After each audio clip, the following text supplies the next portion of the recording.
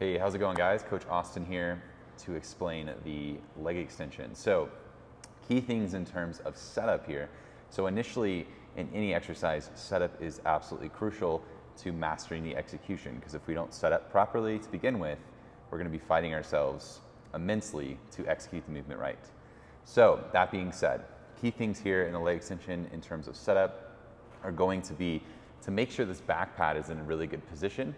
So how do we know how to line up the back pad or how far forward or back to be? So we want it to be just touching our lower back while our knee is lined up with this axis of rotation. So on any machine, typically there's going to be an axis of rotation in terms of where that machine rotates, that pivot point.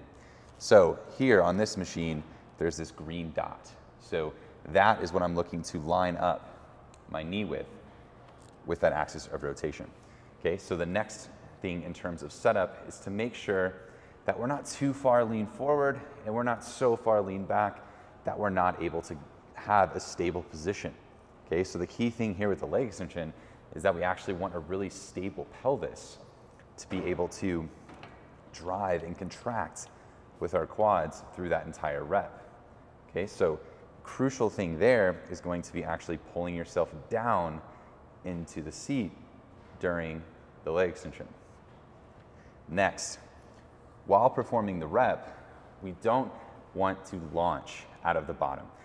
So a big thing that people talk about is pain in their knee while performing leg extension.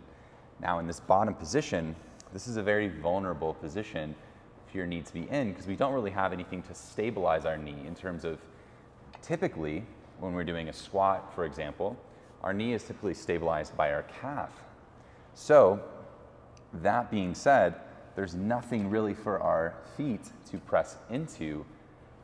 For example, uh, on the squat, we would have our ability to actually use the ground as that opposing force for our feet and for our calf to actually have some stability to then stabilize the knee. So that being said, we need to be sure that our feet, our ankle is dorsiflexed. Okay, we don't to have pointed toes here. Okay, so we, we want to dorsiflex that ankle, point that toe up to help contract this tibialis, this shin muscle here, to then create some tension here in the calf. Okay, so that's going to help create tension in the calf, which is going to help stabilize the knee. The next component of keeping pain away from your knee is going to be to actually think about lining your knees up straight out. So another common thing is people, especially with larger legs, typically, or if they're too relaxed, typically get back here and their legs are pointed out to this direction when the knee just wants to hinge in one direction here. So again, this knee is a hinge joint, okay? So this is something that we're just going to do this motion here, straight up and down, right? So that being said, we want our knees pointed straight in the direction that our knee is going to rotate.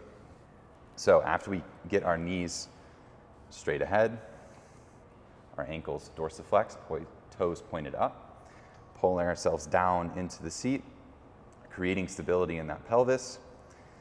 Then what we're going to do is not launch up from the bottom, but think about actually contracting and then squeezing and accelerating through that rep. Okay, so it's not this, as you can see, that got a little out of control. Okay, so it's not, it's not on purpose being slow. What it is, is we're starting slow on purpose, but then really accelerating through that rep while contracting with our quads. Okay, so we're not thinking about just pushing this up or getting this pad to a certain destination. Okay, not point A to point B. We're thinking about all of those cues there in the beginning, and then slow to accelerate, and then squeeze and accelerate up through that rep. And at the top, think about actually fully contracting that quad.